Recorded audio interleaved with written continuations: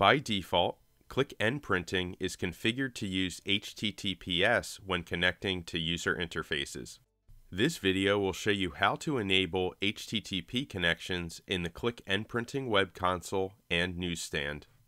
Before you start, you must be logged in on a computer that has Qlik NPrinting Server installed with administrator rights.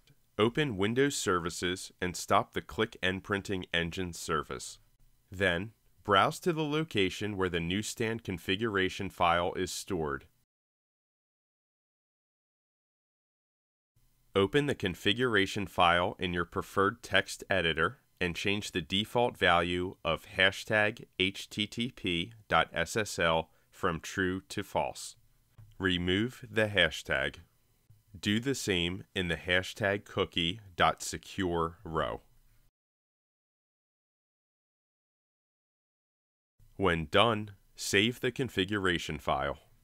If you want to also enable HTTP for the web console, browse to the web console proxy folder and edit the configuration file.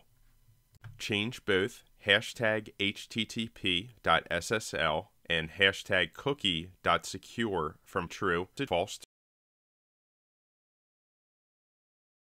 and remove the hashtag from both rows.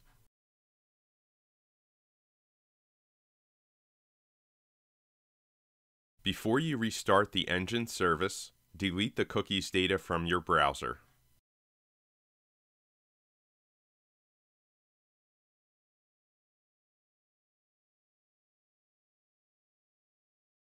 When done, open Windows Services and restart the Qlik NPrinting engine.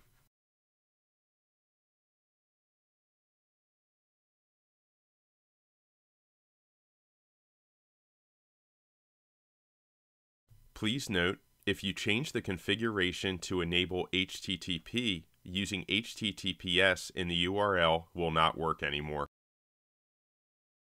As you can see, if you use HTTP instead, you can connect to the Qlik NPrinting web console.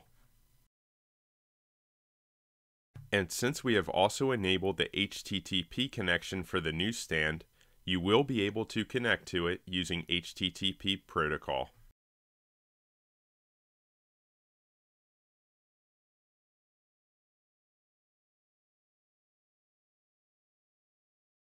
And that concludes this video. Thank you for watching.